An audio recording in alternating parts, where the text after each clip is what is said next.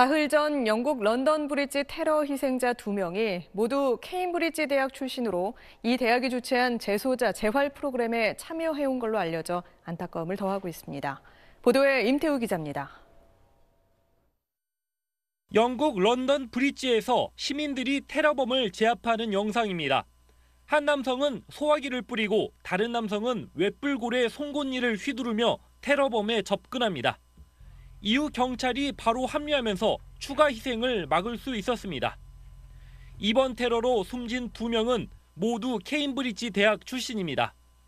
한 명은 범죄학을 전공하는 대학원생으로 당시 범죄학과가 주최한 재소자 재활 프로그램을 진행하고 있었습니다.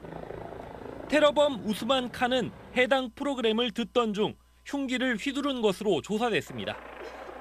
또 다른 사망자는 20대 여성이며 자원봉사자 자격으로 재소자 재활 프로그램에 참여하고 있었습니다.